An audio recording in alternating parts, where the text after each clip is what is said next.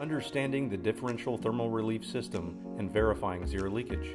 Here we have the standard configuration of the DAN-EX double block and bleed valve in a vertical position. During normal operation, the manual bleed shall remain closed. The isolation valve and one-way check valve shall remain open. When the DAN-EX is open, product flows through. When the DAN-EX is closed, the body cavity is full of product, trapped between the seating slips. Increased ambient temperature and solar exposure can cause dramatic and potentially damaging pressure inside the body cavity. The check valve allows flow in only one direction.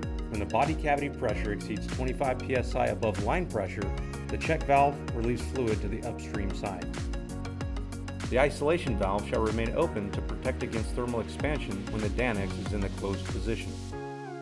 The purpose of the manual bleed valve is to check the integrity of the slip seals to ensure zero leakage. In a vertical position, the manual bleed is located at the highest point of the body. This is to minimize the amount of drainage while checking the slip seal's integrity. You use the manual bleed to verify the integrity of the slip seals, and the isolation valve is to verify the integrity of the check valve. Expelled fluid has been dramatized for visual effects. To verify if your slips are holding, make sure your DAN-EX is completely closed and then open the manual bleed valve. Residual pressure and product will relieve from the body cavity. Once it stops, verification is complete.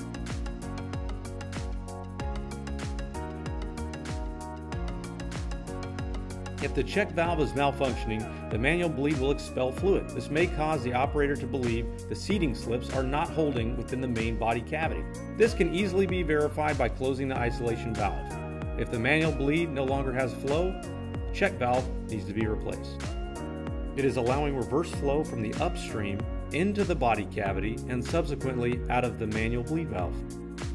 If your DAN-EX is installed in a horizontal position, the manual bleed is now located in the middle of the body cavity. Half the body will have to drain before you're able to verify your slips are sealing. Tubing can be routed from the manual bleed to the highest point of the valve to speed up verification and reduce product waste.